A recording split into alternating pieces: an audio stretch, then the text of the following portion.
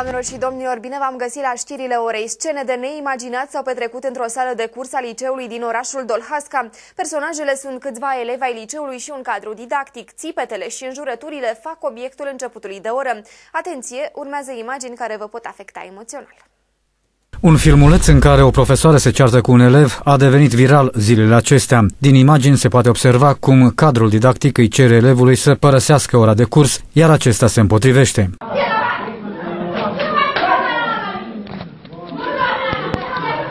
Puțin lipsește ca în clasă să izbucnească zarva și agitația, spiritele încingându-se repede. Directorul liceului din Dolhasca, Constantin Tănasă, a precizat că o comisie de cercetare va fi constituită pentru a face lumină în acest caz. Am uh, convocat Consiliul de Administrație conform uh, ordinului ministrului 5079, deci uh, cel mai devreme miercuri, o să numim o comisie de cercetare și uh, cei care uh, au greșit, sigur, o să uh, primească uh, după faptă.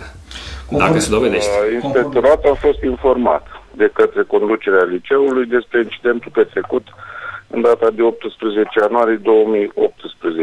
Conducerea liceului va convoca ședința Consiliului de Administrație și va desemna o comisie de cercetare pentru evenimentul în cauză. Inspectoratul școlar va monitoriza activitatea comisiei și măsurile propuse conform uh, regulamentului de organizare și funcționare a unităților de învățământ universitar. Nu este prima dată când învățământul românesc se confruntă cu asemenea situații de la certuri și bătăi între elevi și până la umilirea unor cadre didactice.